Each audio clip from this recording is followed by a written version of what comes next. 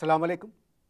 Loose talk के साथ अनवर मकसूद आपकी खिदमत में हमारे यहाँ अच्छी फ़िल्में भी बन रही हैं और बुरी फ़िल्में भी बन रही हैं। मगर पंजाबी फ़िल्में बहुत बनी, बहुत सी बहुत अच्छी फ़िल्में बनी। चूड़ियाँ, एक रिकॉर्ड फ़िल्म मूसा खान, डाकू की लड़की। कई फ़िल्में हैं और फिर अचानक धड़ाधड़ फ़िल्में बनने लगी।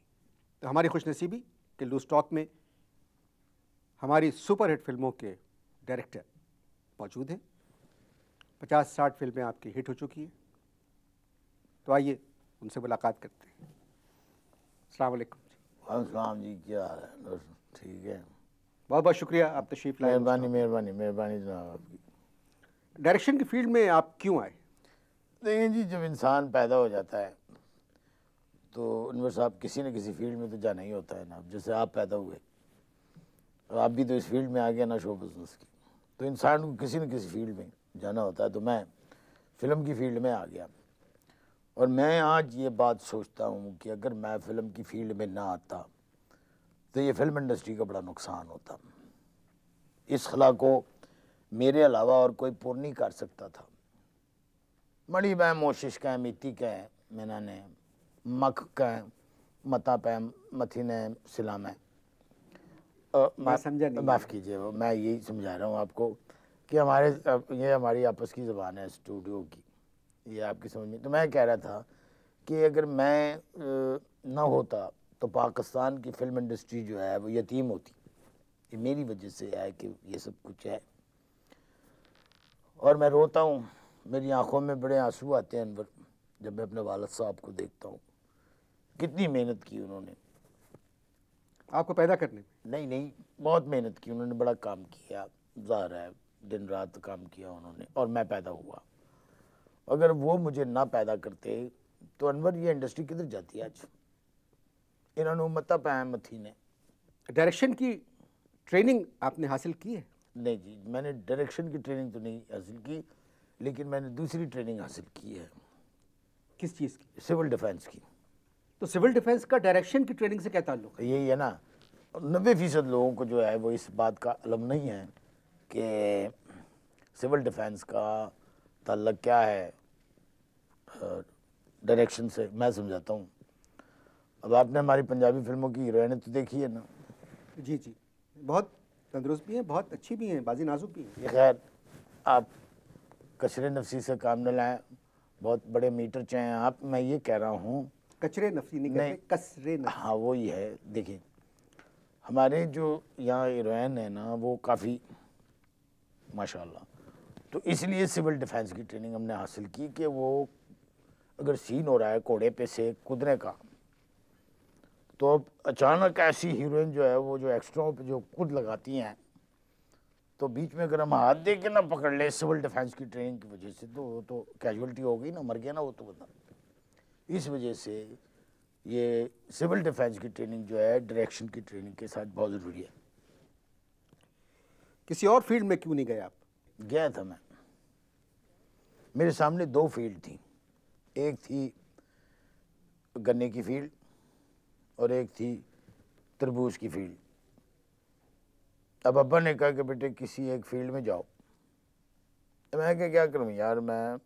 मैं क्या मलोचा चाहे मन्ने कह के "अम, अम, मील फैम है। मैं कहा चलो मतलब गन्ने की फ़ील्ड में चलते हैं। अब आपके लैंडलॉर्ड तो मैं हाँ मैं गन्ने की फ़ील्ड में गया। फोकस किया मैंने एक गन्ने को मोटे गन्ने को फोकस किया। लेकिन जब मैं फोकस करके देखा तो क्या देखता हूँ? माफ़ करना इधर कराची आके बड़ी खांसी हो गई है। फोकस में क्या देखा मैंने? पीछे गन्ने के एक तरबूज नज़र आया मुझे। मैं क्या कट करो यार ये नहीं। फिर मैं तरबूज के उधर खेत में गया। तो उधर तरबूज भी नहीं था कुछ नहीं था। मैं आ गया छोड़ो। फिर मैं फ़िल्म इंडस्ट्री में आ गया। डायरेक्शन की फ़ील्ड में आ गए। हाँ जी। वालिद साहब ने आपको इजाज़त दे दी। मेरे वालद साहब अगर ये देख रहे हैं प्रोग्राम तो उनको बड़ा खुशी होगी। मेरे वालद साहब जो हैं बड़े फ़ैन हैं। फ़िल्मों के और फ़िल्म की अदाकाराओं के बड़े फ़ैन हैं बड़े आर्ट लवंग मैन हैं। बड़ा पैसा है। अब्बा की, सबसे पहले तो अब्बा की सेहत अच्छी है। मैं कहना चाहूँगा कि देखें जो लोग अच्छे होते हैं, जो नेक लोग होते हैं, उनकी सेहतें भी अच्छी होती है और देर तक और दूर तक अच्छी होती है। मेरे अब्बे की सेहत अच्छी है, उनके पास दौलत बहुत है, उनके पास मकान बेताश है और हीरोइनों को यही चीज़ें चाहिए। तो अल्लाह खुश रखे मेरे वालद साहब को, कहते हैं, बेटा, शूटिंग करो, इधर कार में करो। बिल्कुल इतराज़ नहीं करते कार में कहते हैं, शूटिंग करो। शुगल चाहते हैं वो कि कार में शुगल हो। और जैसी शूटिंग शुरू होती है वो मल्ले थे चले जाते हैं मतलब नीचे चले जाते हैं उधर वो क्या बोलते हैं उसको? बेसमेंट है आपके? बेसमेंट में चले जाते हैं वो खामोश हो जाते हैं। इसलिए के ऊपर शूटिंग हो रही होती है ना।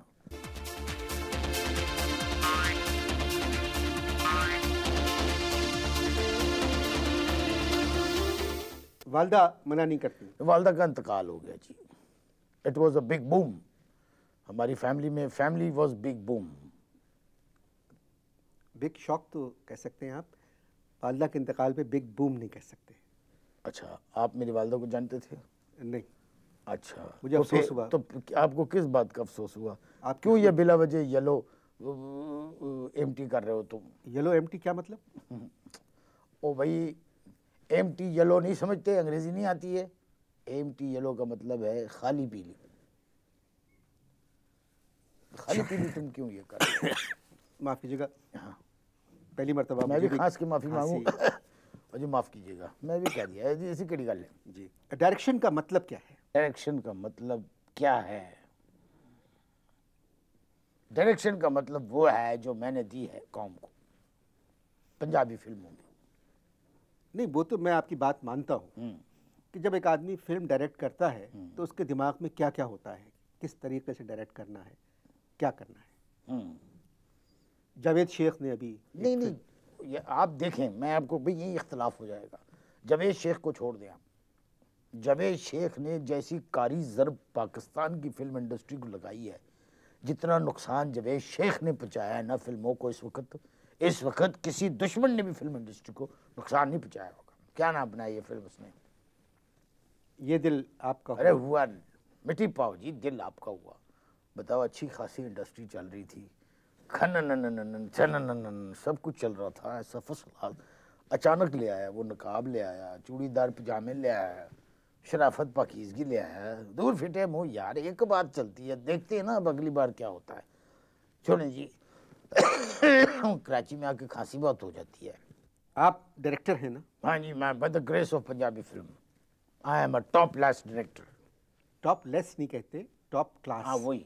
वही देखिए हर फ़िल्म की कामयाबी के पीछे किसी डायरेक्टर का हाथ होता है। मेरी हर कामयाब फ़िल्म के आगे भी मेरा हाथ होता है और पीछे भी मेरा हाथ होता है। देखिए अभी तक हम लोग बड़े आराम से बात कर रहे हैं और थोड़ी सा मैं परेशान हो गया हूँ क्योंकि आप डायरेक्टर हैं और बहुत बड़े डायरेक्टर हैं। ये तो है। ये बताइए फ़िल्म क्या होती है? फ़िल्म दो तरह की होती है एक्फा और फ्यूजी। ना कोई तीसरी आया पाकिस्तान में तो बताओ यार कैसी बात की? तो दो ही फ़िल्म होती है। मेघता भी है मगर मैं नेगेटिव की बात नहीं कर रहा हूँ। माँ डेविड लीन का नाम सुना है आपने? डेविड बहुत अच्छा एक्टर था इंडिया का। और लीन का पता नहीं मुझे कोई कह रहा था कि कम ऑन लीन यार। अब ये समझ में नहीं आया ये लीन का क्या मतलब है। डेविड को मैं जानता हूँ बहुत अच्छा एक्टर था मैं हॉलीवुड की बात कर रहा हूँ हॉलीवुड जा यार रहने दे हॉलीवुड की बात करते हो। आप लोगों में अनवर साहब ये बड़ी खराबी है। चक्कर लगाते हैं लॉलीवुड के और बात करते हैं हॉलीवुड की। मैं लॉलीवुड का चक्कर नहीं लगाता। हैं? मैं चक्कर नहीं लगाता लॉलीवुड आप लॉलीवुड का चक्कर नहीं लगाते? तो एवर न्यूज़ स्टूडियो में क्या बाल कटाने जाते हैं आप? बात करते हैं आप? सब जानता हूँ मैं आप लोगों को मिसड़े एवेन्यू स्टूडियो के मालिक जो हैं सजाद गुल मेरे दोस्त हैं। सजाद गुल इंडस्ट्री में किसी के दोस्त नहीं हैं, आपके दोस्त कैसे हो सकते वो बहुत बहुत अच्छा मिसी क्या का मोस्त दैन बहुत अच्छे है। आदमी हैं बहुत मख्त सहम आदमी हैं। बिल्कुल ही मुब चैम हो है माओ जैम मैं आपसे सिर्फ़ डायरेक्शन में बात करूँगा हाँ जी मैं भी वही कर रहा हूँ मैं समझ में नहीं आएगी ये बात। मैं सिर्फ़ डायरेक्शन की बात हाँ आप करें डायरेक्शन की बात करें कोई बात नहीं। आपकी डायरेक्ट की हुई मैंने पंद्रह बीस फ़िल्में देखी। भाई क्यों देखी तुमने? बहुत पैसा है तुम्हारे पास। या मेरी फ़िल्म देख के कुछ हासिल करना चाहते हो? क्यों देखी? और बहुत सारी फ़िल्में वो देख लेते तुम। एस एम यूसुफ को जानते हैं? एस एम एस को जानता हूँ मैं। मेरे मोबाइल एम यूसुफ की बात कर रहा हूँ। मैं यार मैं भी वही बता रहा हूँ ना। भाई आप में मुझमें फ़र्क है। आप जानते हैं एस एम यूसुफ को मैं जानता हूँ एस एम एस को जिस पर रोज़ मुझे मोबाइल के ऊपर मैसेज आते हैं। Two two two two sir जी मैं आ रही हूँ। या तो दूसरा मैसेज आता है कि सर आपकी अगली फ़िल्म में कोई और हीरोइन नहीं हो सकती। मैं ये एसएमएस होता है यार तुम्हें नहीं पता। परवेज मलिक को जानते हैं आप?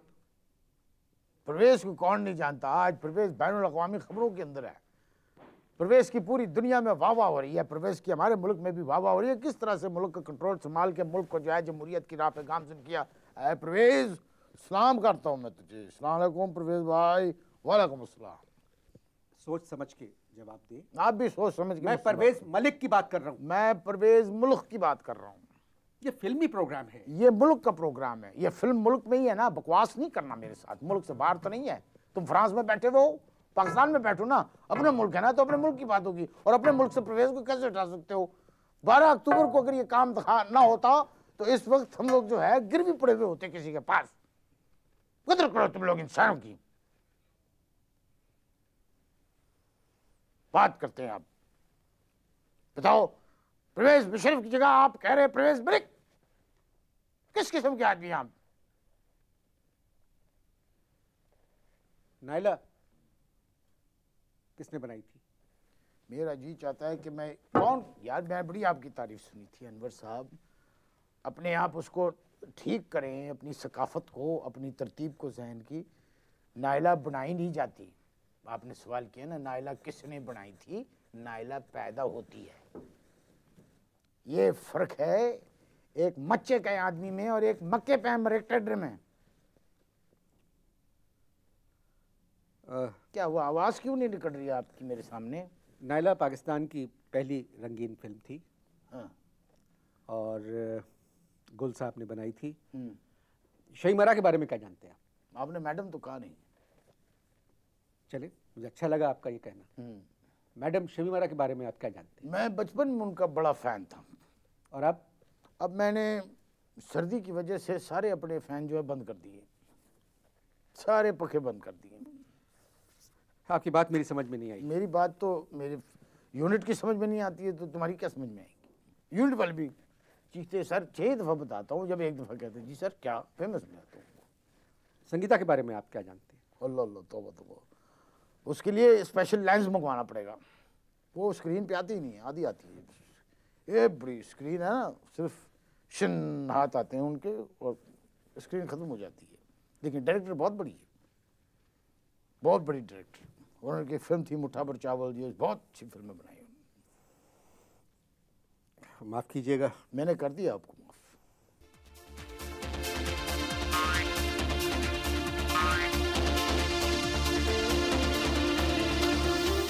पूरी बात सुनिए। बोल बोल। बोल। दस। दस? से। स्पीक।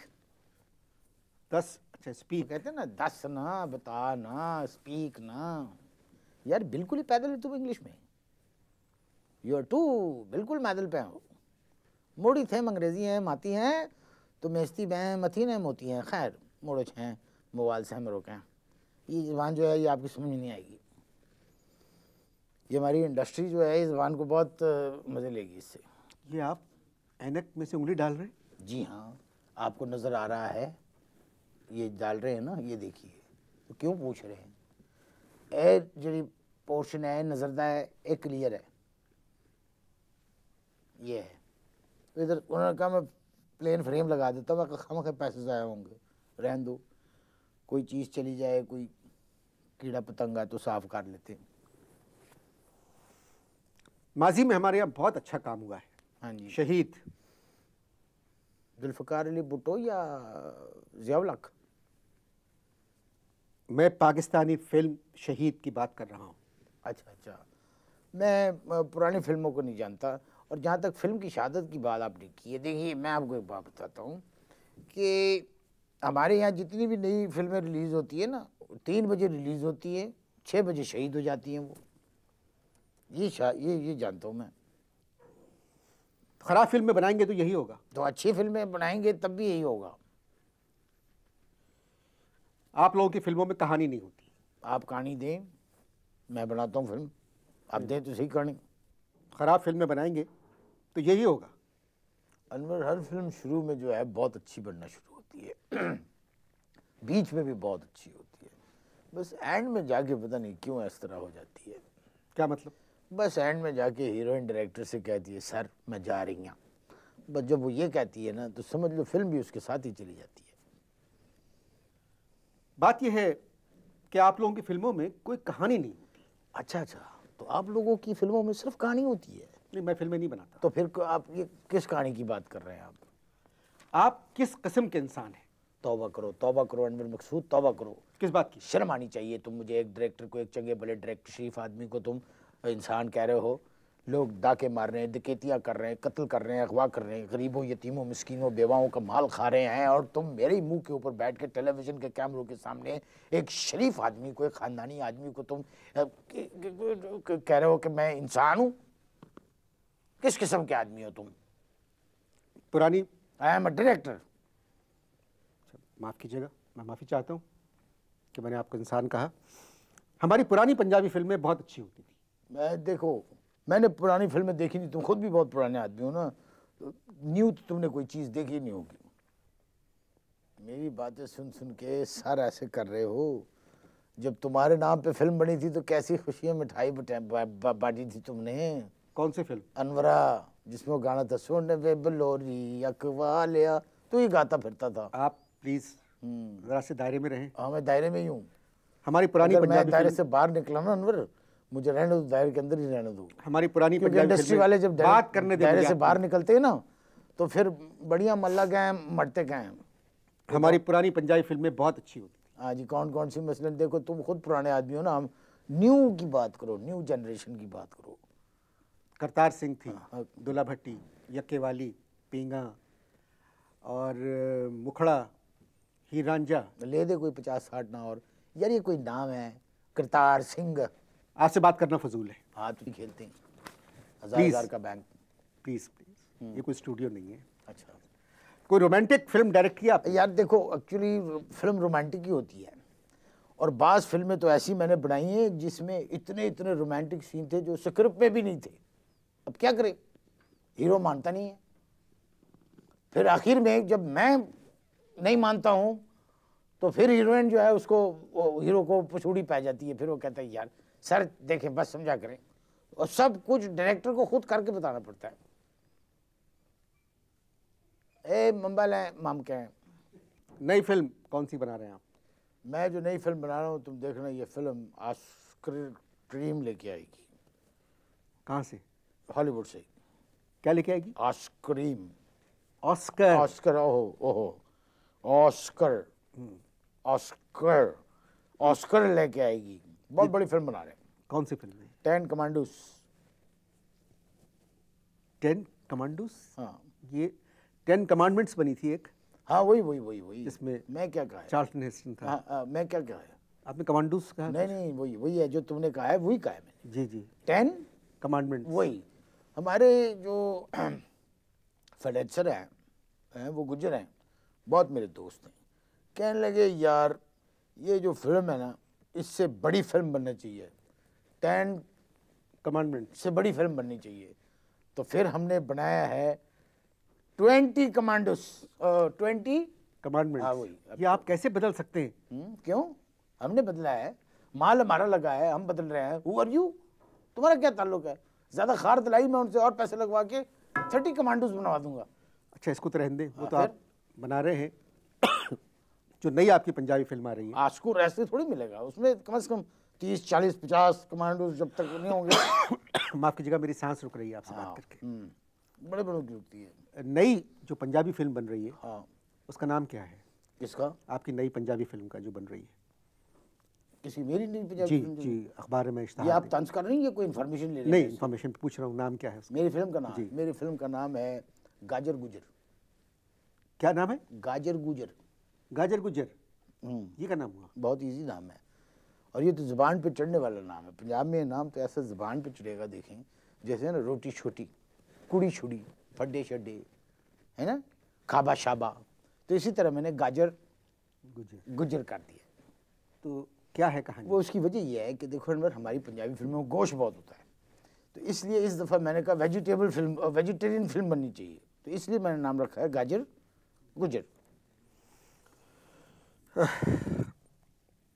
एक और फ़िल्म बना रहे हैं आप अभी तक कहानी लिखने वाला आपको नहीं मिला उसकी। तो आप लिख दे कहानी।